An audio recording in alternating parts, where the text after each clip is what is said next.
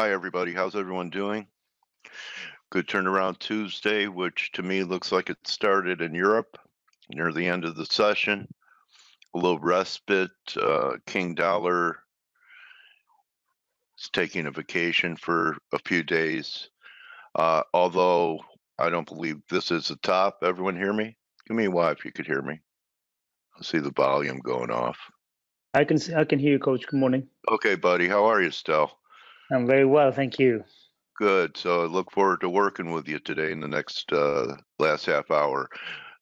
So uh, we have a little bit of a recovery going on in the indexes as well, but a lot of damage. I know some people are talking about 2680. You have to hand it to Steve. You know, he kept selling scale up. It's in a good position. Um, I'm still not convinced this, that this is a final high, even though we had the damage yesterday. Some people are looking for 2680 before we get better levels. I think 2840, 2860.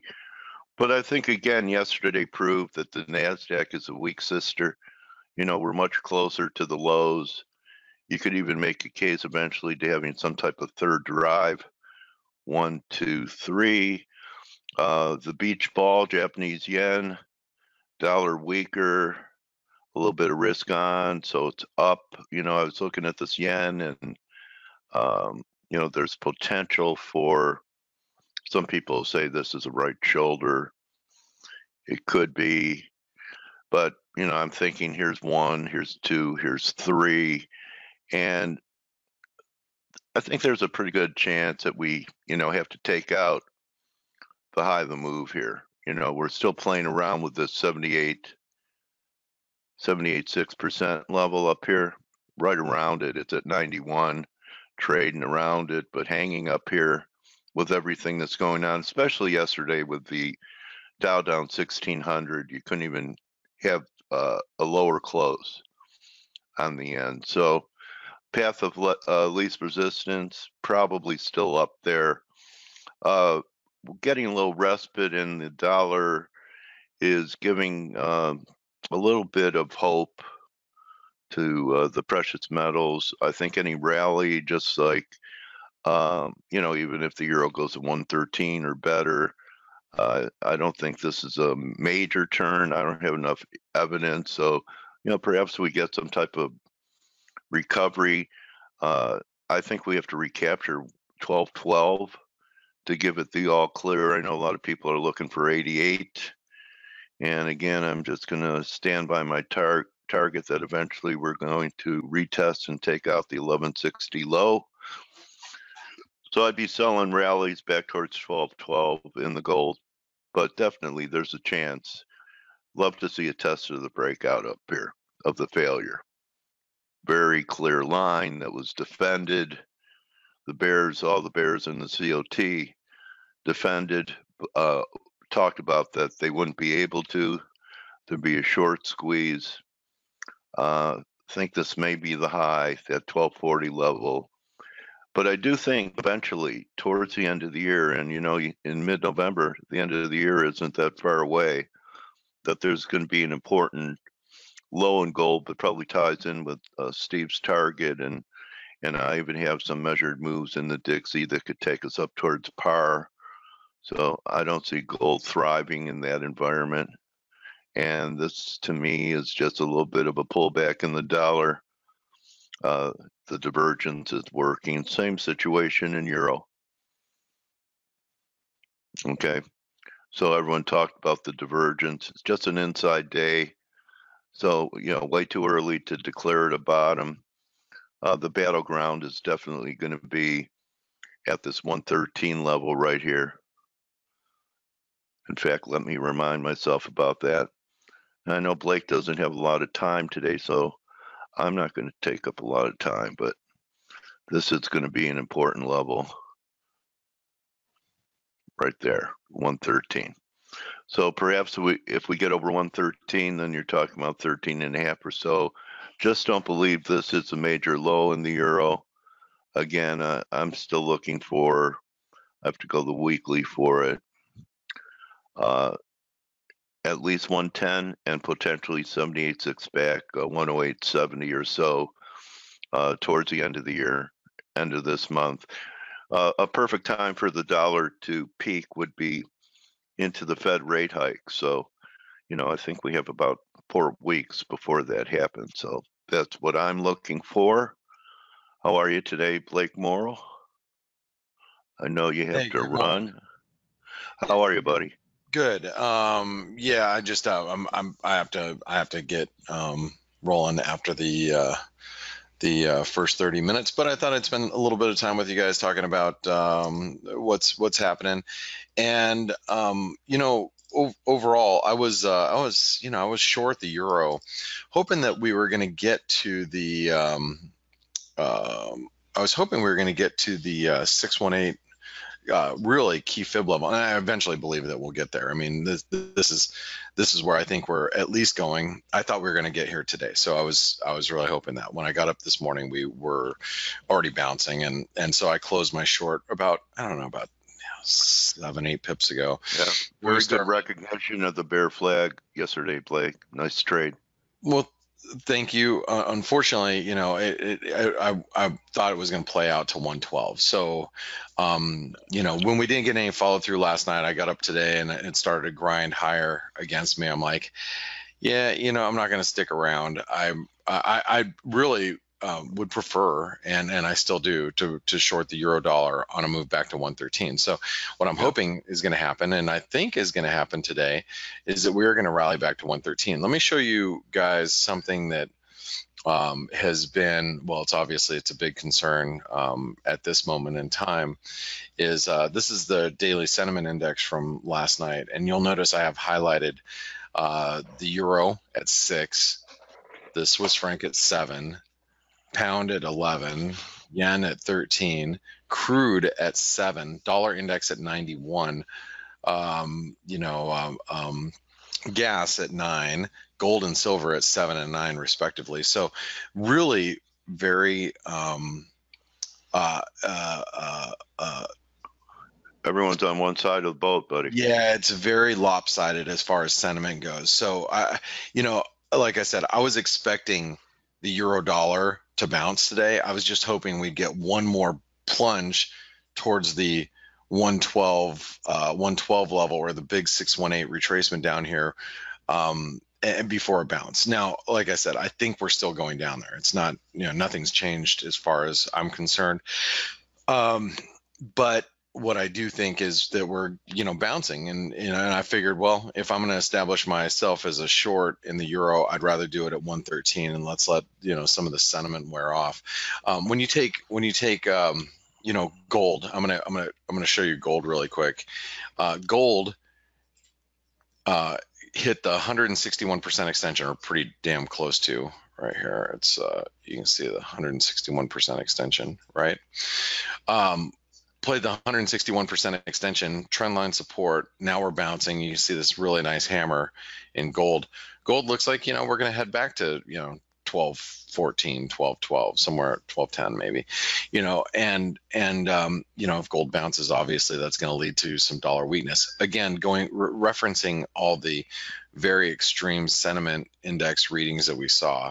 Um, it, it's, it's, it's, you know, high probability that gold at least does you know bounce. Now does that mean gold's going to you know to 1250 no probably not but you know can it bounce from you know 1200 to back to 1210 or 1215 sure.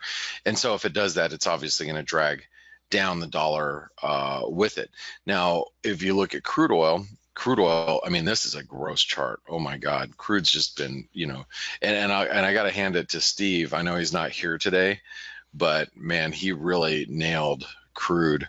Back when it was at 70 he was looking at it just to, to for a serious breakdown. And um, you can see the relative strength daily relative strength. We are uh, the, i think lowest we've been yeah since 2014 i mean so you know daily rsi is very oversold. You saw the sentiment. So um, crude you know could probably bounce back to well probably well above 60 probably back to 61 62 and if it does that you know again this this this could lead to dollar weakness. Other commodities could firm um, uh, as well, and and that's why you've got to just be really a little careful with your dollar positions right now uh, at the at this point in time. Because you know if, if commodities bounce like gold like like silver uh, or you know which i didn't talk about silver yet but you got gold or crude um, you know that's typically ev- you know evidence that we're going to get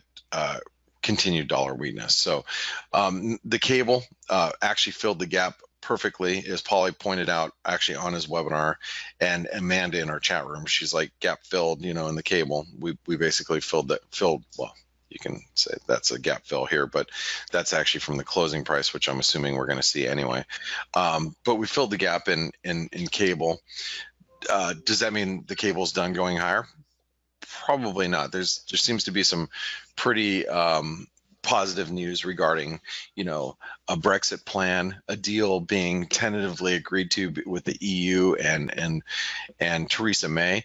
Now that doesn't mean that um, a deal is done either. You, you, you uh, this deal would have to be approved by Parliament. So, um, you know, but it's you know one hurdle at a time. You know, and and and and the pound is uh, responding uh, positively as a result. So, um, you know, uh, this continued positive development in in the UK uh, could continue to squeeze the pound higher. I'll, I'll tell you this much: I wouldn't want to be short the cable right now. That that's not what I would want to be.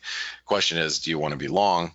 Well, I wouldn't want to be short. So, you know, you, you can you you you can you know make the decision there.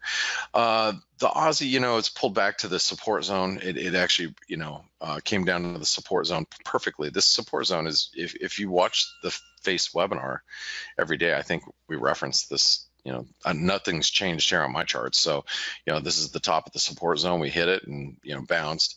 Um, Kiwi came right into the support zone and is bouncing. Um, you know, uh, uh, China is sending one of its top negotiators, you know, uh, to talk to um, um, U.S. trade representatives to try to, uh, you know, lay out some sort of foundation to a China-U.S. trade deal ahead of the the G20 summit. So, um, you know, positive developments may keep the the Kiwi and the Aussie from selling off. Uh, Swissy, um, this thing has been extremely resilient. I, I've been really strong or really surprised how strong it's been, but also a little bummed out because I've missed this entire move. It's like, uh, you know, I'm, i sit here and look at it and go, damn, I cannot believe I've missed this thing. I mean, a bull flag still points to, you know 102.75 somewhere up up there. Uh, will we achieve that?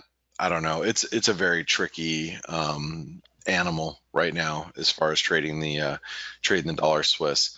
Um, you know, as I was showing you with crude, and crude looks like we're bouncing right now. I mean, we are still negative on the day, but crude's bouncing.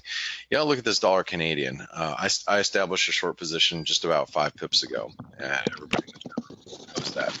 Um, the dollar Canadian is is uh, is coming under a little bit of pressure, but you know I think downside is limited. I think we might get back to like 131, you know, 75. We we we could possibly press back here towards, you know, the the previous channel, you know, uh, resistance, something like that. We could you know come back here. I I, I think uh, downside's fairly limited, but um, you can see that we've been rallying here in the dollar Canadian, just uh, shy of the 78% retracement, and relative strength had been diverging. You know, we we were rallying in price, but relative strength was not following. So that divergence should lead to a little bit of a pullback. Again, this is with the the whole theme of the dollar pulling back, gold going higher, crude going higher. Um, and we're getting a little bit of retracement. Does that mean the dollar Canadian, you know, is going to 128 from here? M- maybe, but I think you know first things first. You got to see how it responds if it gets back below 132, and we and we see a we see a drop back down towards uh, you know 131.75, something like that. Um, uh, I was very tempted to uh, take a short in the U.S. dollar Mexican peso. Now that we're back up at the 78% retracement here, I have not shorted it. Um, a little tempted, but uh, I you know, the first time around was a great trade. Uh, being on the short side here last week, I think it was last week or week and a half ago. Being on the short side here, uh, revisiting that trade, trying to double dip into that into that uh, trade, is not um, is not uh, you know. I, I, hate double dipping into a position, especially, you know, considering we didn't get a full on reversal. I don't know if I really want to take a stab at it up here. From a risk reward standpoint, it makes sense. I'm just saying that, you know, I, am not doing it. Um, U.S. dollar Norwegian krona. If the uh, if the crude oil market bounces, uh, this U.S. dollar Norwegian krona. Let me just adjust prices here, and let me grab this dotted line. I'll just grab it and put it up here. Okay, you notice that we might have a little false breakout up here in the US dollar Norwegian krona. Again, if crude bounces, which crude, I think, as I pointed out before, crude looks, oh, look at the cable ripping here. Um, there was a statement, uh, sorry to interrupt, Blake, statement that the UK... backstop text to be completed today. Yeah. Yes. Yes. That thing. Thank you, Stelios. I was going to say that was uh, that looks to be it. And you know, this is how dollar uh, reversals can happen. You know, you get one currency pair like the the cable that starts to rip higher, and then uh, you know you got everybody else going, oh shoot, I don't want to be short the euro and the euro starts to squeeze. I don't want to be long the dollar Canadian, that starts to sell off. I don't want to be, you know, long the dollar Swiss up here, and then that starts to sell off. It, you, you, you could get the, um, you know, the uh, um, uh, uh, domino effect, if you will. And I think that's what we're seeing. And again, you know, this is really the gap fill is right here wherever we close which is 129.70 you know probably 19 129.75 so we're we're like three pips away from there. Um, uh, so we should we should end up, you know, getting up there and maybe even being a little bit higher. Like I said, this this uh, dollar um, weakness could really feed on itself, especially that the the sentiment is so so overdone.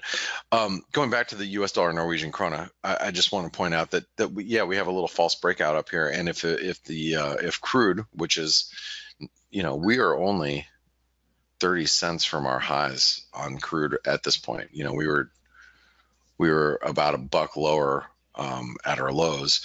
If crude, you know, hits new highs, that could further weigh on the U.S. dollar Norwegian krona as well. Let's take a real quick look at the dollar index. Um, the dollar index is uh, hit the 127% extension. It's very similar to the euro. I was expecting it to hit the major. Let's go over to the daily chart, or that's the weekly, but Let's get over the daily. I was expecting, um, or I was hoping, I you know, hoping, expecting that the dollar index was gonna is gonna was gonna see the 618 retracement. It did not, uh, not yet anyway. What we did is we hit the 127% extension. Now, here's the risk with um, the uh, see this dotted line here. This is the risk with the dollar. If the dollar actually breaks through that dotted line, that would end up putting in another false breakout to the upside, which could lead to a you know much more significant dollar pullback. We're we've still got some distance here between 97.30 and 97, but it is something worth noting that you know you got everybody squeezed out of their dollar shorts. Dollar long positioning is really you know quite aggressive at this point. So if if um, you know if if it does doing a full on reversal, it could be pretty ugly. You know, I would think the dollar could see 96 relatively fast. You know, and this is uh, you know, some pretty pretty key support that we would come back into. But you know, failing up here, you know, we break back below 97. This this would be this move here. Uh, let me grab a highlighter pen. You know, oops, or a pen. This would be like pretty realistic that we can we can you know make it all the way back down towards support. Um, hold on, let me get back over to the. Uh, I want to grab a bit different pen color here. Okay. Erase. Okay. So yeah, I mean, you would be talking about a move, you know, from 97 back over to 96. I think that that's realistic, uh, or or could could could eventually happen. Whoops, man, I keep messing this up. Um, so let's see, dollar index. Uh, let's take a look at the dollar yen, uh, and then then I'll bring in Stelios and we can we can chit chat a little bit before Greg gets here. Um, so the dollar yen, you know, we completed this. This is a double bottom, right? It was a false breakdown, double bottom. We completed it, stopped us at the 88% retracement. Took us forever to get up there. We finally did. We hit the 88% retracement.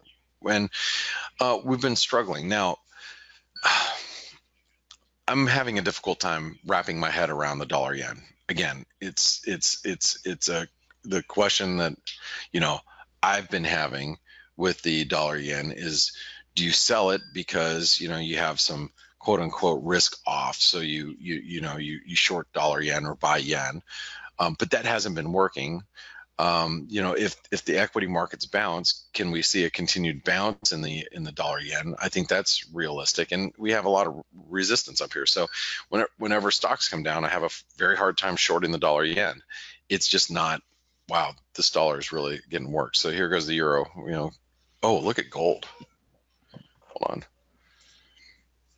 Gold is a that's a hell of a four-hour hammer right here which closes in 38 minutes.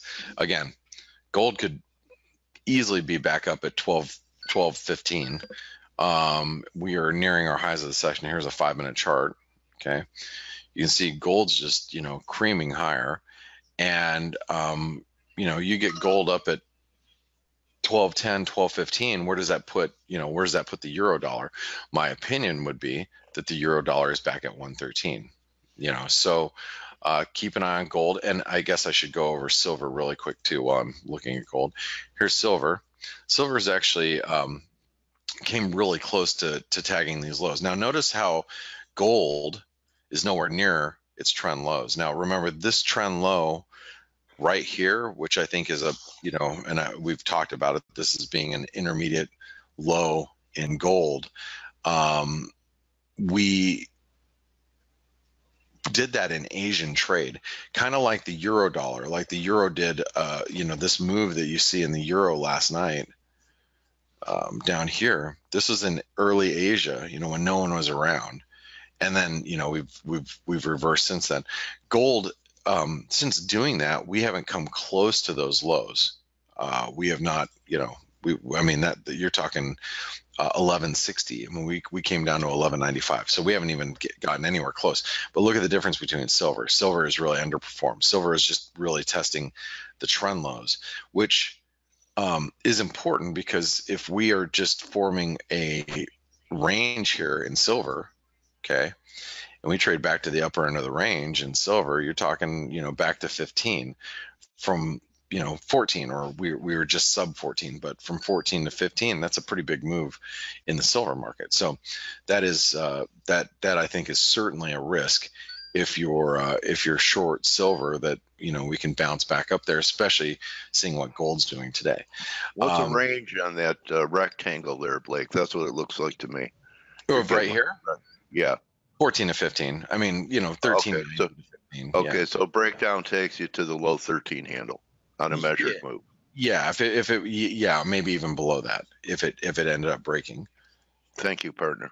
Mm-hmm. But again, you know, with what coffee addict. Yes, uh, yeah, of course. um, wow, uh, Donald Trump is really, really um, trolling uh, Macron in France today on Twitter. Yeah, he's been he's been really all over him all day long. it's, a, it's pretty good. You got to read his tweets. Um, he's really he's really uh, he's really Is mad at him this trip. He's they're not getting along. The yeah, bromance. No, no, that that is not. They're getting some co- couples counseling, I think. Before might might be might be yeah a little uh, you know interesting uh, trip to trip to Europe. Um, anyway, um, so yeah, he's out. He's out uh, taking to Twitter this morning on. Uh, it's like high school. All right, man. I'll shut up. so, um, so anyway, Stelios, good morning. Good morning, everybody. How's it going? Uh, it's funny very good. It's funny you should mention Macron because you know um, one of the main reasons why Trump is having a go at him because um, yesterday was it or the day before he was mentioning a unified uh, European army, um, which is, is, you know it's a punchy statement to say you know that well we yeah. need a Right. You know, it, I don't know. I don't know if you want to go there really, but still, you know, Trump took the opportunity to have a go at him. No, no, but I mean, it's like, oh, let's protect ourselves from China and the U.S. You know, with a unified European. But army, isn't the right? U.S. supposed to be the U.S. supposed to be an ally, right? Well, why right. protect the U.S.? I don't get. Right, that. right.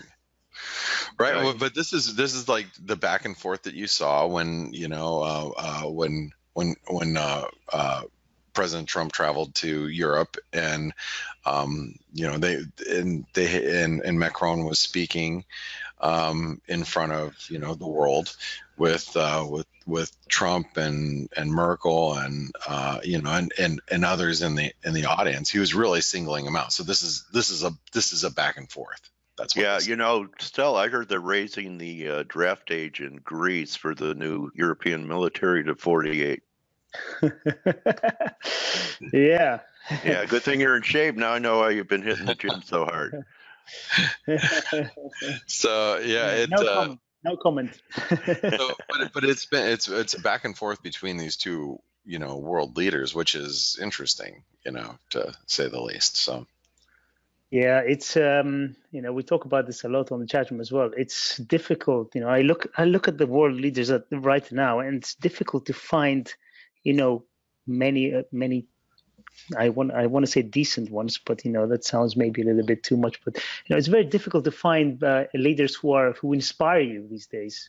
It's, it's really sad. I think it's just, you know I I'm influenced by Greece where we're you know we're horrible, but you know even other you know developed countries, um, I'm seeing kind of the same, right? So it's it's very disappointing. I, I think it is from a world perspective, you know.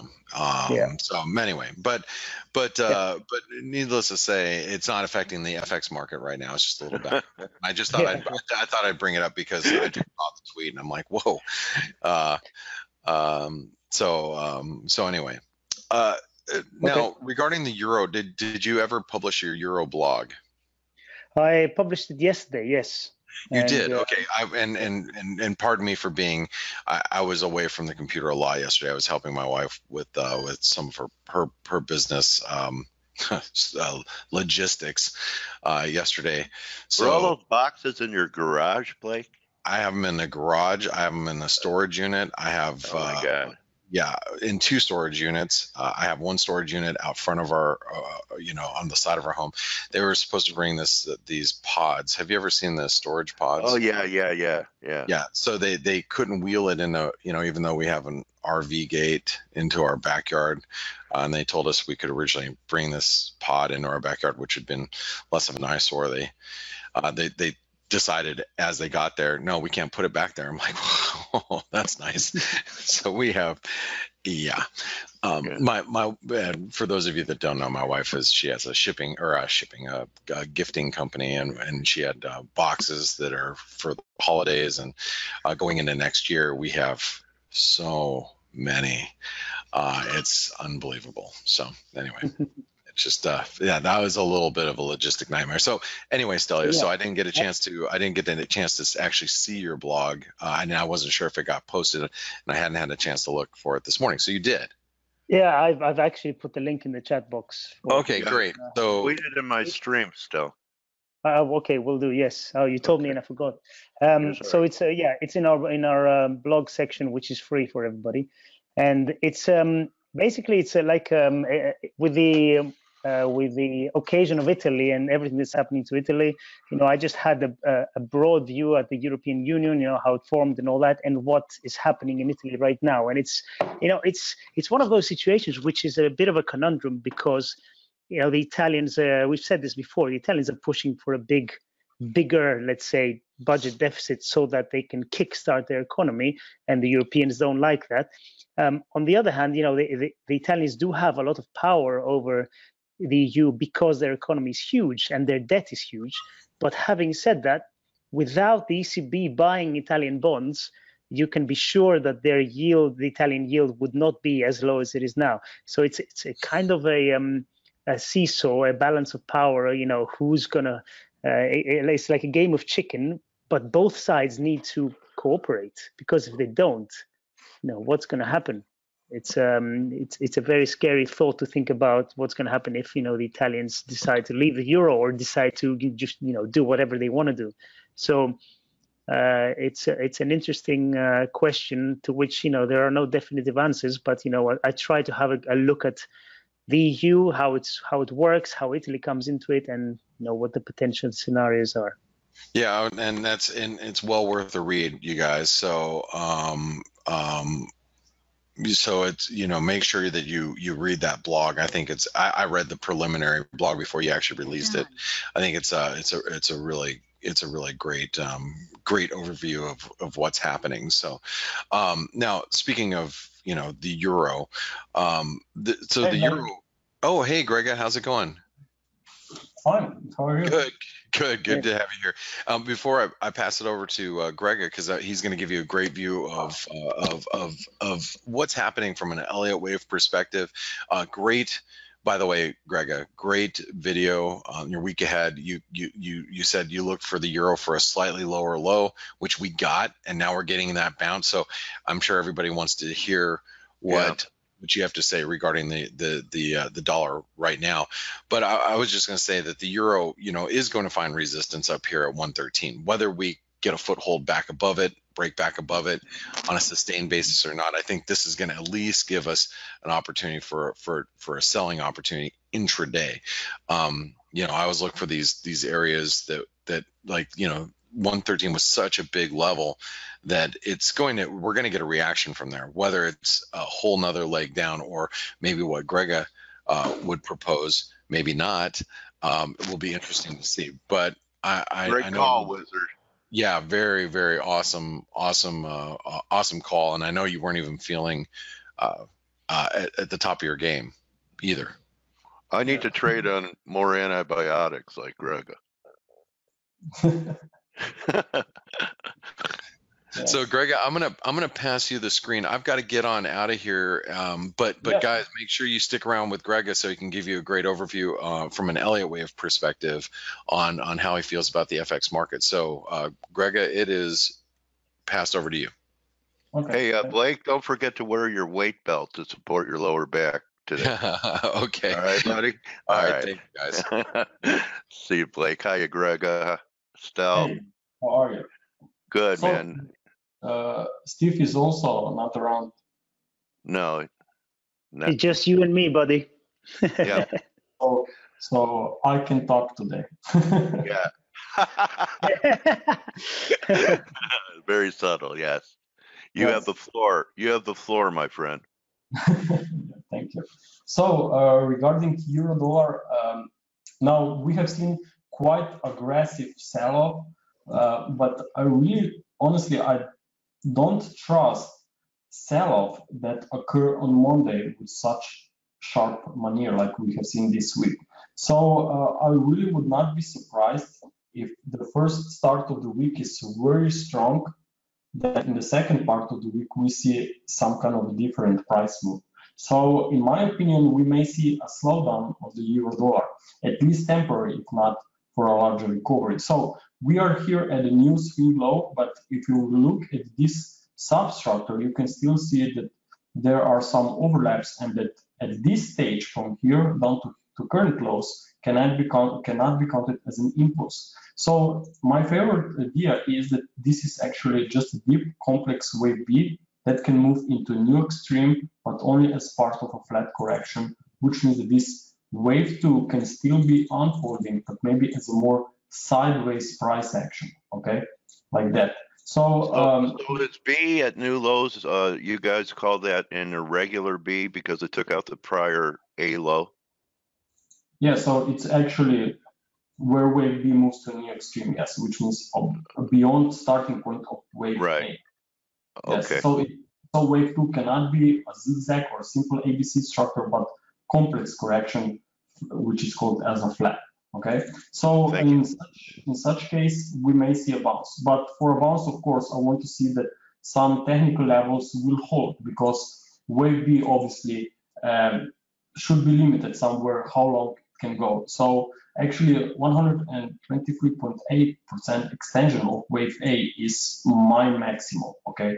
Um, so for now we are still in safe zone, if I can say it like that. So uh, this 1.12 level, I think it's uh, very, very important. We are also here at this uh, channel support, parallel channel support. So ideally we will see a bounce. Uh, also, what I would be watching here is development on a one hour chart. So I'm tracking a five wave decline. And once we see another push to the downside, be aware of a reversal. Now, even if euro dollar is headed straight to the downside and we will not see any major reversal for that wave C up, I still think that there will be a corrective rally for a larger recovery. Okay, so as a Black uh, Blake said, I think that this uh, free wave rally, minimum free wave rally, should take us from a new low back to 1.13 level, and we will see what happens there. If previous support or previous low will turn into a resistance, which means we get more sell-off, then I really think that euro dollar could be um, headed much lower. But if we see a push higher in impulsive fashion, which means in five waves rather than only in three waves, then of course this would be called as a failure breakdown through those, especially uh, if we consider that in such case we would be also back above these August levels. So I would get even more confident that wave C could take us higher. Also, the weekly close price, I think, can be very important. Now, we have seen several pushes here below this 200 uh, moving average, uh, but always then recovered, okay? So we are now trading below it, but until we see a close of the weekly price, because close is the most important price of the week or of the day on a daily basis. So I would be very interested to see what will happen there. And I would really be even more confident regarding that recovery uh, if we may be close back at uh, the highs, or I should say above uh, this week open price. Okay. Also, there is uh, some divergence on the RSI, also strong divergence. Uh, I should zoom this in on this MACD. So I really think not be surprised if we see at least, as I said, corrective recovery. Uh, any questions? Dale? Hey, uh, Greg, uh, uh, you mean from um, from people on uh, asking for yes. for uh, tickers to look at? Yeah, um, we have our friend uh, Mashari who's looking for Sterling Kiwi. If you can have a look at that, please. Mm, sterling Kiwi, okay. Mm, but no questions regarding euro dollar. Ah, no, sorry, no, no. no. I thought you meant if you have any other questions. Okay. Um, Sterling Kiwi. Okay, so. Um, This one uh, appears to be breaking to the downside. We are trading, as you can see, below very major uh, trend line support here after previously only seven waves of recovery, which is a complex correction. So I think that this is a very clear pattern which suggests much, much weaker prices. Now, looking at the daily chart, we have to understand that nothing moves into a straight line. As you know, uh, in the previous uptrend, there, despite higher prices, there were very solid and healthy pullbacks, right? So I would be expecting some, something similar now when we are in a downtrend. So I would be watching and expecting a wave B or wave 2 rally back into the area of a former wave 4 uh, since we can count five waves of decline. So uh, watch out for resistance if we get a nice rally, of course, uh, up at um, 1.9650 around there or uh, 100, 150 uh, pips lower. But ideally, we will get more weakness after a free wave recovery. And I would not be surprised if this free wave recovery is already underway. Okay. of course, you will have to see a major push, let's say, uh, in five waves back to 1.938. In such case, I would definitely be uh, in inside of the temporary bulls for a higher pullback. So um, any pullback could face uh, limited upside because, as I said, it will be part of this uh, downtrend that I'm expecting to unfold to much lower prices based on a weekly prediction. Um, also, uh, this may have a strong relationship also with cable because if you look at this uh, corrective channel up from 2016 lows, and now we'll look at cable, and you can actually see uh, this is daily. You can actually see that cable also from up from 2016 lows also moved very nicely to the downside with a decisive break below this uh, trend line support. So I think that even cable is uh, headed to the downside and maybe this one will cause more weakness on uh, pound crosses as well. But of course, firstly, we have to see a completed uh, wave two, which may not be over yet. Ideally, as I said, also in a week ahead video, we will see, we may see a retest of these uh, September levels before we go to the downside. Now, if I'm on the right track with that uh, euro dollar, then of course cable could follow the same path here, also move to higher resistance levels. Hey, uh, Hey, who's that? I'm I'm it's Steve. I'm actually at the vet, and I'm watching the webinar. Any, uh, just a question for you. and any chance? Greg, any chance you, thought, this... you thought he was going to leave you alone, right? yeah, I think you thought so. yeah. Any, any chance? any, any chance? Steve, we... no, no, uh, no calls from, from the vet's yeah, office. right. You know those are Any chance- company rules for crying out loud. Any chance we're going to have a triangle uh, unfolding here for the cable before lower? Mm, yes, actually, that's a very good idea. But uh, the reason what why I'm not looking for a triangle is because if on the right track with this whole major trend, where I'm still expecting wave five to drop towards new lows, and then we see a reversal to the upside. In such case, this decline in wave C should unfold in five waves. And if that's the case, then this is now wave two, which means it cannot be a triangle because in a, in wave because triangles are not allowed in wave two. So if this is going to be a triangle, it's fine, but then some other major developments are happening. So because still I don't have enough information actually to confirm this as a triangle, but of course it's possible. I favor the idea that we are maybe still in a wave to make a flat correction. Okay, mate. Okay, thank you. But Hey, I think Steve, uh, Steve, uh, is, uh, does that agree with what your cat thinks? My cat is currently sedated, so I think you know doesn't think much. I hope he's okay, Steve. I Okay. hope to, so too. I'll know soon. All right, bud. Thank you. All right. So Greg, uh, I don't think you're gonna get any more calls from veterinary offices today. So go So, ahead. but Since we are at cable, okay, now uh, there are two different things. It's analysis and it's trading. So regarding analysis, we know that simply we are probably just in a corrective phase and sooner or later we will see more weakness. But when it comes to trading, even if I'm still expecting maybe uh, to see a retest of September levels, I think that the short-term structure is very clear. We have seen um, this nice reversal down from uh, last week, which on an intraday chart is in five waves. So even if this is going to be a temporary pullback that can take us towards 78.6% of previous rally, I think there can be opportunity on the short side because as I said, we have five waves of decline. And so far we have a free wave recovery.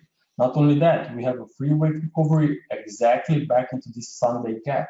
And as you know, when Sunday, when those gaps are filled, firstly because they act like magnets, because they are unfilled orders, and once they are filled, uh, new flows may occur because, of course, these new orders that were activated causes a new change, uh, may cause a new change in trend. So ideally, we will see a drop back to the lows, either for a very strong wave three or for a wave C. So from a trading perspective, I think that this resistance can be very, very interesting because after all, we are uh, dollar is still in uptrend. Okay, so if, as I said, it's there are two different things: analysis and trading. And when you're trading, you probably want to trade in the direction that is happening right now. Okay, right. Um, so that's regarding cable. Uh, also, uh, we probably should look at the S&P 500 uh, because of the very nice uh, turn to the downside uh, yesterday. Uh, so what is happening? We have seen a very nice break on this four-hour chart below this trendline support. So it appears that market is making a new bearish leg, especially if we consider that we have also turned down from the previous swing high. Um, also, if we take a look on a, one hour time frame, I think I have it somewhere here. Mm. Or I don't. yes, it's here. So uh, on the one hour time frame, we can see that this decline has unfolded in five waves. So uh, it means that more weakness should follow after a free wave of, uh, of recovery. Ideally, we are now just moving sideways here for wave B, so watch out for another push higher into wave C, but then maybe limited upside could be seen around this former swing low. So let me just label this. Okay. So first resistance is here at 2763.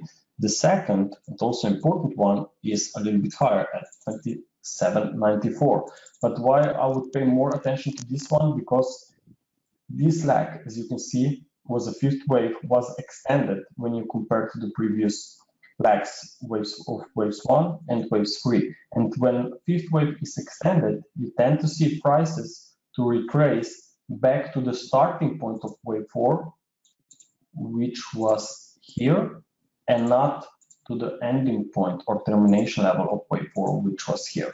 Okay, so that's why this resistance could be uh, maybe even more important than the higher one. Um, also, there will be 50% retracement coming in. So watch out for potential new sell-off from 27.65 around there. Uh, now, if you're trading FX, maybe you should look uh, for very weak uh, yen crosses, and euro yen is probably one of them. Uh, so, because if stocks will continue to the downside, then obviously you want to look for potential trading opportunities uh, in the direction of this uh, sentiment, which means Japanese yen could strengthen. Um, and if you take a look on this wave structure, is pretty clear. We have waves one, two, wave three, actually it's five subwaves within wave three. That was a wave four bounce, and now we have seen a completed wave five, right at this old uh, swing support.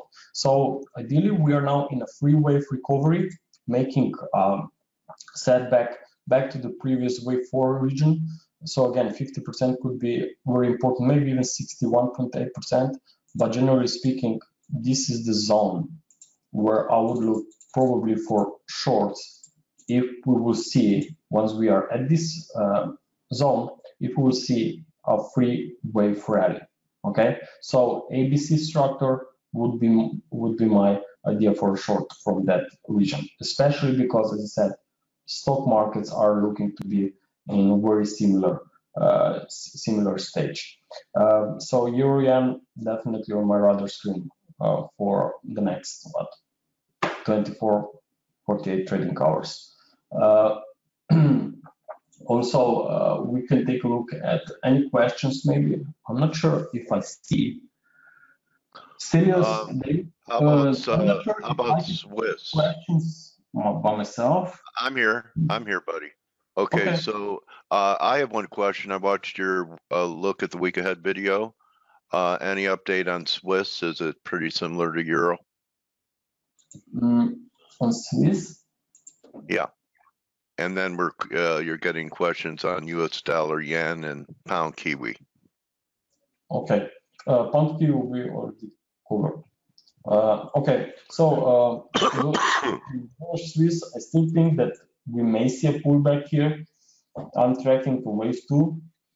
Not sure if this wave two was already finished here, because if you compare this pullback to the previous pullback, you can see that they were, they were quite similar. But if we are in a pullback of a wave two of a higher degree, because this was a fourth wave of a lesser degree, I want to see also something more complex or at least longer in time. So from that perspective, I would, it's, the price is just too high for me to belong. um, but definitely would have my interest if we would uh, test uh, supports a little, a little bit lower. So at the area of a former wave four for sure. And so uh, I just think that um, actually we may see this pullback, especially if euro dollar would recover. Uh, also on a, here on a daily chart, of course, uh, nothing has changed. Uh, I still think that it's just a matter of time when we'll see again prices printing uh, above 2016 levels. Got it. Okay. Thank you. So U.S. dollar yen was asked by Ben R. Where Okay. you're at there? dollar yen is at very critical point here. Now, to be honest, I was I'm short dollar yen, and the reason why I played it on the short side was very simple because I saw stocks moving into this resistance uh, on the S&P 500 up to uh, 2820. Uh, That's why I did it, Greg, and it certainly hasn't paid off. It's been so resilient during risk off. Yes, it you know it's it's fight between dollar and Japanese yen. Everyone are they are buying dollars and buying Japanese yen in a risk-off environment. So it was probably not the best pair to trade in such environment because they are just fighting each other. So that's I why think I think it's following yields more closely than the market. What do you think? yes, it's uh, it's also very interesting that we haven't seen any significant moves on uh, on treasuries despite some volatility recently that we have seen on the on stocks. So maybe we have to see some action there before. Yeah, you know, Greg, I want to hear something funny. I kept looking at the 10 year yield chart all day yesterday and saying, boy, is it quiet. And uh, they were closed because of Veterans Day. That's why that's why the bond market was quiet yesterday. Uh-huh, interesting. Yeah, I Mhm. know. I go, wow, it's bond, bonds are quiet with you know S and P's down 40. That's because you know they closed uh, government offices were closed, bonds closed. Oh, okay, good. So we'll see So- some action today. So despite dollar yen uh, with very unclear situation here, I still see here now from a basic technical perspective, you would probably level or mark this also as a wedge, right? So uh, I would not be surprised if we see a prices coming off a little because uh, wedge and overlapping shape means that bulls are not that strong, and this is clearly evident through this chart. You can see a very strong recovery here, but now the second stage of this recovery is going slower. So momentum is decreasing, and you would expect that sooner or later will increase. And normally the wedge suggests this will occur in the opposite direction, which means to the downside. Of course, you would have to see some important levels to be taken out before this can be confirmed. Uh, but if we can take this trend line support out connected from November, uh, from November 1st, I really think that there is still a chance for uh, dollar yen to coming down. Okay, so uh, the short-term invalidation level clearly remains at the highs at 114.55. But even if this is an ending diagonal, the um, push above 114.25 could already be in very important evidence that maybe after all this is not going to be a wedge and that we'll see a spike above these uh, October highs because in such case wave three would be the shortest, which is not allowed when you are tracking a motive wave structure. Okay. Yeah, they want those stops up there. I think, Grega. They're just a gut Yes. feeling. Yes, Yeah. but uh, even I would probably look for a second chance for dollar yen shorts, even if we go or see more gains, uh, because we have potential wedge forming even here on a daily time frame. Okay, I like that. Yeah. So and also uh, what is very important here is that if you compare the first part of this recovery up uh, from 2018 lows, okay, to the second part, you can see that equality of these levels are just above these previous October highs, right, right there. And also that would be happening in fifth wave of this potential ending diagonal here in the wave C on a daily chart. Also, also what uh, is important that we are still trading at these resistance levels um, of this contracting range con uh, connected down from uh, 2015 high. So I still think that this can be actually waved in place. Also, uh, oh, just a second. Also, there is 61.8%, right? That can be a lot also of confluence. A lot of yes. confluence at that 115 level after all the shorts are gone. Yeah, so uh, of course it's that, that's why I'm saying that even if we see a push to new high, it doesn't mean that trend is bullish, right? It may be just a failure push higher and then we see a drop. I thought that maybe dollar yen would come lower into wave even from that October high, but based on a big picture, based on uh, this second count that I'm tracking, I still think that uh, it's not the right time to look uh, or turn aggressively bullish because it can be something else once those stops are cleared, as you said yourself. Okay, and let's see. a lot of requests. Um, USD CAD is yes. another one. Okay, so uh, dollar CAD, I mean, this one is really a textbook example. We have seen a clear ABC decline back to the area of a former wave 4. This was wave 4 support. Now we were in a higher degree wave 4, which take us back to the same levels. We have bounced from there. Uh, also, we took out this very important trend line resistance, which means that this ABC line is probably completed and that we are headed higher. Also, this trend line turned into a very nice support right there. Okay, it was the same region if you also connect, oops, if you connect, also connect this um, lower trend line connected from September swing low. So I think that this pair is clearly headed to the upside. Recently, we also went out of this downward channel, which means corrective wave two is slightly completed. So uh, I think that any pullbacks on a smaller time frame chart would be just uh, part of this trend that is going on right now. So I think the dollar CAD could continue much higher. Also, crude oil is extremely bearish. I see crude oil uh, going much, much lower, especially after any bounce. So uh, during uh, this phase, of course, dollar CAD, I think should remain supported. Okay, let's see. I think we have time for one more, buddy. How about uh, uh, Euro Aussie? from Euro, deal? Uh, I was hunting this one for short last week, but I didn't get it. So uh, what is going on is actually I was looking for shorts here in this wave four, but I was hoping for higher resistance to be uh, retested. Maybe I was just too selective based on um, risk reward setup because I want always my stops to be somewhere, if not in wave two, at least somewhere around these wave two levels. But because it was a triangle, I thought that downside is limited, so risk reward setup was not perfect. That's why I just stay aside. And um, I still probably will look for a new opportunity, but after a corrective bounce, uh, since we are here, as you can see, turning aggressively to the downside, probably making the impulse because very strong moves like this represents personality of an impulse. So I would be expecting a pivot drop to unfold lower into wave A. Now we are still in a wave three. And if we look at this short-term wave structure, uh, I would not be surprised. I can just update this count real quick.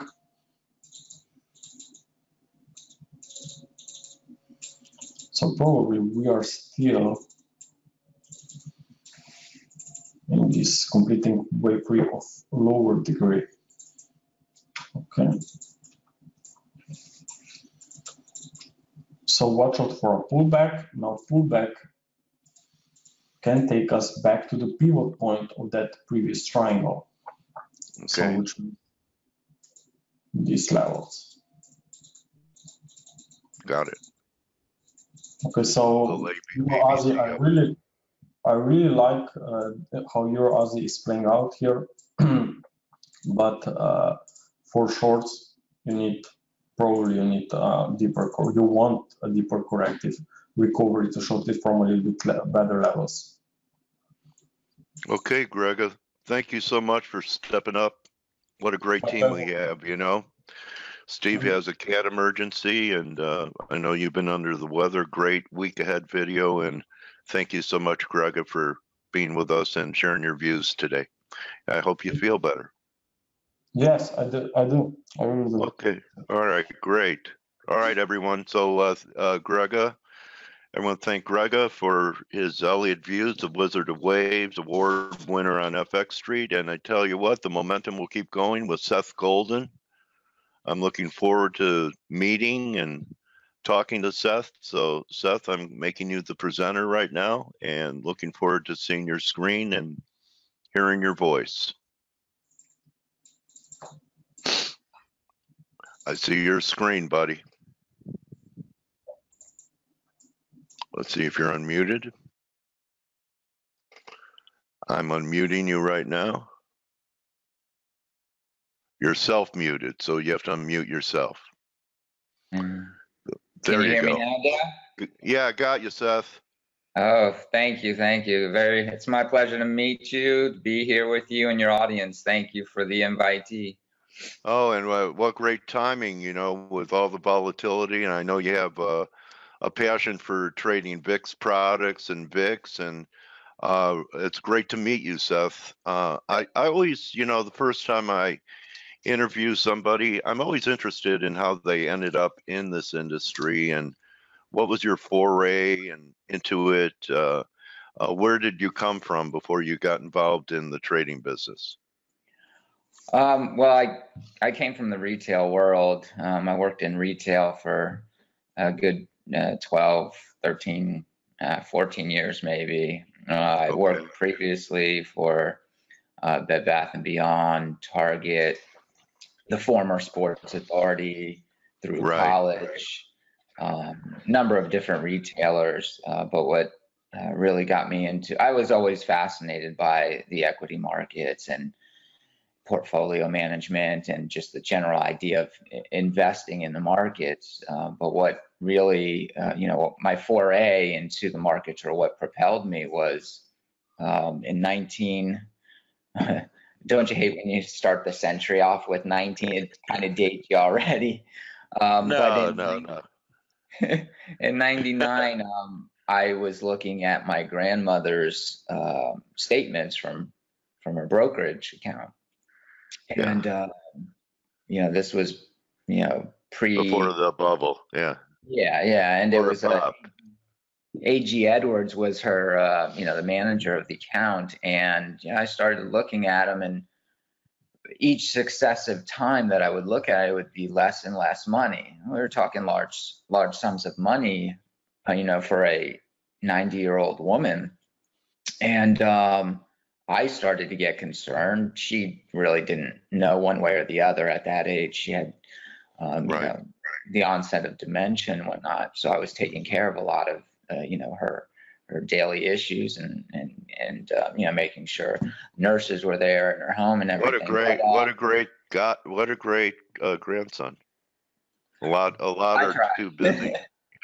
Nice, so, nice. Uh, yeah, so I told her at one point, I said we should go and, and meet with the, you know, the manager and the account, and we did, and we sat down, and I realized that she was in assets that she had no business being in. She was in somewhat risky assets, um, and it, just didn't make a lot of sense. A lot of mutual funds, and the, you know, what I knew of, you know, the risk value premium and and her age and everything she should have been more heavily levered into other asset classes than the you know general equities and mutual funds.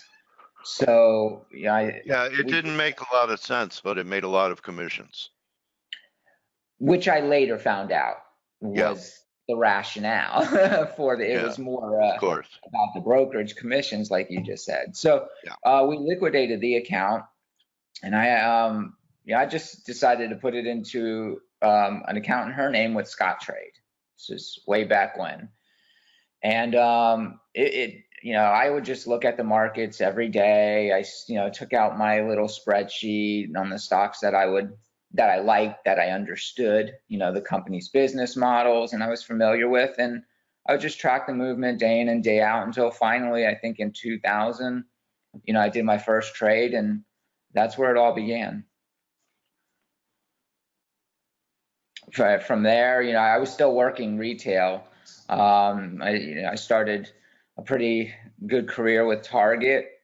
And uh, yeah, that's pretty much where the social media community um, came to know me best. Um, I was uh, featured in the New York Times last year as the quote unquote ex Target manager turned millionaire by trading the fear index. Wow. Um, cool. Yeah. yeah, nice. So, uh, uh, and your and your first foray into it was, you know, just out of caring for somebody.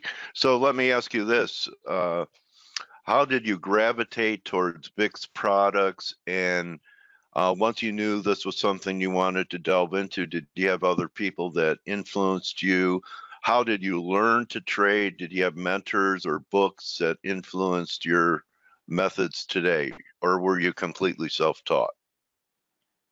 I, I don't think I would. I, I would lean 90% self-taught, 10% reading, discovery, making mistakes, just general okay. experience. But yeah, I did read a couple of books. Um, you know, uh, around the, you know, when I started first trading, 2000, 2001. Um, mostly what I learned from those books was the state of emotion that goes into you know, uh, investing your own capital and how was to that trading in the zone? Um it may have been. It may yeah. have been. It was I, in, to, trading's all in our heads isn't it? Yeah you go back to amazon's hit list and yeah. i yeah i chose the most popular one. But okay. uh so yeah mostly 90% self-taught. I did a lot of day trading back then in and out in the same day not holding anything overnight um, unless I had to, because you know psychologically nobody likes to take a loss, and when you are a new trader, you don't realize that um, there are advantage to take advantages to taking small losses as opposed to bigger losses because you think yeah. something's going to turn around for a rationale that you've not supported with anything but hope per se. yeah. uh, so over the next couple years, I developed more into a swing trader. And uh, I would say by 2000 and about 2010, so after the great financial crisis, uh, I was actually doing sell side analytical work for a boutique research firm um, that we we created, me and uh, myself and um, some partners called Capital Ladder Advisory Group. Um, so that really helped um, or facilitated my uh, you know, some of my uh, better trading strategies uh, over the years, doing actual sell side analytics, deep dive research um, into and, and, staying true to the categories or the industries that I know. I, I do truly believe in invest in what you know and understand. Anything beyond that, um, you you generally will have to lean more heavily on uh, third party works, ideas, and opinions. Um, and that okay. just never carried a lot of weight with me. Okay, so uh, let's go fast forward and uh, talk about okay. your some of your methodologies and some of the things that you're seeing and uh, what you look for for market tells. I know you talk about contangos and backwardation a lot when you're uh, trading VIX. So uh, take it away. Yeah, so I started uh, tr- well learning first about the volatility complex, the VIX, and the derivatives of the VIX uh, within the VIX complex uh, back in 2011. Uh, it was it was in 2009 that the first uh, exchange traded products, VIX exchange traded products, became uh, or came to market. Um, but when I was working for Capital Ladder Advisory Group, we we catered to the hedge fund industry. Our research and white papers were uh, purchased by subscription, um, the different institutions and hedge funds. And one of our clients um, asked me to read, and, and, this was in 2011, this prospectus on ProShares uh, for ticker symbols SVXY and UVXY. Okay. So I read it. I didn't really understand it because I didn't have any foundational grounds in uh, futures. Um, right. So I, I, just didn't understand it that well. And but I rate, I you know gave it a good read, kind of brushed it to the side. Um, but then you know I told the the client that it seemed pretty complex. It's probably you know better to give this to somebody else with an expertise in futures and the derivatives market. So he believed that I could do it. Um, at that time, I was basically the axe in SodaStream, uh, Keurig Green Mountain, uh, you know, a lot of the consumer packaged goods stocks I was writing research for and, you know, making calls, if you will. Isn't it nice when someone believes in you more than you do in yourself? Absolutely. Uh, he even uh, he decided, you know, I believe in you so much, we'll pay you an extra fee. Oh well, now now I understand the motivation. No, not entirely. I want to learn. I'm always up for a right. challenge. Yeah. And okay. uh, you know this this was something that it was it confused me. It just confused me. But if you know if if somebody else believes in you and they've been with you a while, um, you know you want to give it your extra effort. And so I did. And I you know I went the extra mile. I actually you know was able to get on the phone and have dialogues with you know the fund managers or the authorized personnel and that's what you know brought about the evolution in, in my understanding or you know the light switch went off. And so i felt okay now i understand what these products are these vix exchange traded products um, let me put it into action.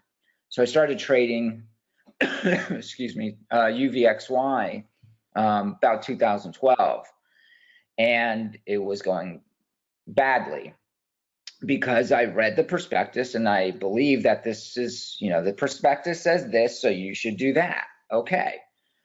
The problem with, well, I shouldn't say the problem, but with these particular products in this particular industry being uh, the VIX complex, you, you have to be able to think about the prospectus, the verbiage in the abstract. Um, some of the way that the prospectus is written, uh, you could almost say it's because in order to get it approved, um, they have to write it this way. Um, for all practical purposes, though, you almost have to do the opposite of what the you know the verbiage is telling you, and that's when I started to see success in in participating within this uh, you know particular complex. By taking the uh, taking the other side of the trade because of uh, uh, an erosion and decay. And uh, I bet the uh, did the prospectus say anything about uh, you will suffer going through multiple yeah. reverse yes. splits, multiple reverse splits over the years? Yes, and you could suffer large large drawdowns if you hold yeah. overnight. We, okay. you know, they only uh-huh. recommend uh-huh. it as a, you know, day trading product, basically. Nothing to be held in long duration use options, um, all of that you know type of uh, suggestive language is in there. Um, but I learned that if you did the opposite, that's where the greater success is. Anything you're trying to day trade, there's a certain amount of gambling involved uh, because any on any given day the market go market can go in any different direction. A sector can go in any different direction. So what I found is what I found out rather you know, quickly was that if I had actually given myself more duration in the trade, it would eventually work out to to my understanding of the the overall VIX complex or fear in the market. Um, and I have been doing that pretty much ever since. From 2012 to present, I've basically been investing in VIX exchange traded products, which is in and itself an oxymoron um, so far as most people believe, um, you know, how you should participate in the complex. Be where they're not is is what I've been doing. Where where where most people are, you know, not participating in this manner, I am, and it's it's worked out well. And and uh, can you give us a little bit more detail so most people are going to just be outright buyers of these products? Uh, uh, what's your methodology? You know, there's been a, a fortune made over the years uh, writing or shorting uh, VIX derivative products like TVIX and etc. And except for what happens every once in a while, like January, February, when the VIX Right. spiked to 50 and wiped all the sellers out, uh, that's the way most people go. Is that what you normally do? So along my journey in the VIX complex, I learned that in order to understand volatility, it would be best to also understand macroeconomics and what's going on that influences the markets and sentiment over time. Um, so I got heavily involved in in all aspects of economics, be them homegrown or across the pond, if you will. Um, so that has helped facilitated my my participation as well. But um, so far as a, an overview on how exactly I trade these instruments, um, UVXY has been my favorite. it's an inverse. It's an inverse um, leveraged Right. exchange traded product, uh, formerly leveraged 2x. Um, but since you know, as you noted, Dale, um, back in February with the what they call the Volmageddon, where the VIX spiked over 100% in a single day, a lot of the VIX exchange traded products were deleveraged. Okay. So UVX. what was the one that there was one that was even delisted, wasn't it? I think it was a long. It wa- Uh, yes. uh, no, it was a short. It was a short It was a short- product. It was um, XIV. XIV. Yeah, that's it. That's it. it's Um, yeah. gone, right? That one's gone. That was a Credit Suisse um, instrument. Uh-huh. um, that was eliminated. And then you had SVXY, which was also delevered. Um, it was only a 1x instrument, but now it's 0.5x. So, um, you know, uh, Seth, I'd like to switch gears since you, Sure. you know, told us a little bit about that. You had to really learn about uh, macroeconomics and you know how the the market's kind of a big jigsaw puzzle. You know, I believe that the fulcrum of the wheel is currency, and all all other asset classes spin around it. What's your view on what's happening here with uh, you know the dollar strength and emerging markets and global markets under pressure and finally uh, the rest of the world you know uh, has pneumonia and we finally caught a cold uh, what are you thinking here uh, about market structure well, um, you know, uh, I think the world is, well, they're trying to gravitate to where the last banyan of strength is, and that seems to be the, the US economy. Um, I, th- I think we're in a stage of somewhat self-fulfilling prophecies where you know we feared the the peak in economic cycles for so long and now that we've um, had this long-standing expansion cycle and bull market global and domestic that um, it's got to come to an end because we're hitting these certain levels with regards to the various different uh, economic indicators. Uh, so from that do you point, do you agree do you agree with that that uh, just because the dur- duration was long that you know I, I hear a lot of people say we're late cycle but late cycle and the end of the cycle are two different things aren't they um, we'll know in hindsight, of course. Uh, I'm of the opinion, I'm of the opinion that we still have a good 12 months at least, at least. It could be longer than that, but we have a good 12 months of expansion ahead of us. Um, Okay. slow? It seems more than probable that we will have a similar slowing growth here in the US going into 2019. Um, just be, you have just the general laws of large numbers that that prove an obstacle, as well as consumption tending to hit a peak. It doesn't mean that it uh, from that level it'll crash, but you get some moderation. Moderation in and of itself will will prove to slow the economy. do I think it's it'll result in anything recessionary next year? I think that has a lower probability.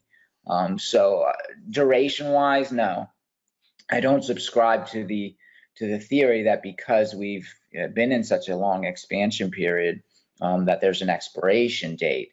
It, it comes down to the the consumer. You know, we're 70% consumer driven economy. As the consumer goes, we go. Can we be impacted from time to time? Um, you know, with that with outside influences, yes, but ultimately it comes down to the consumer and what the consumer is doing. Okay.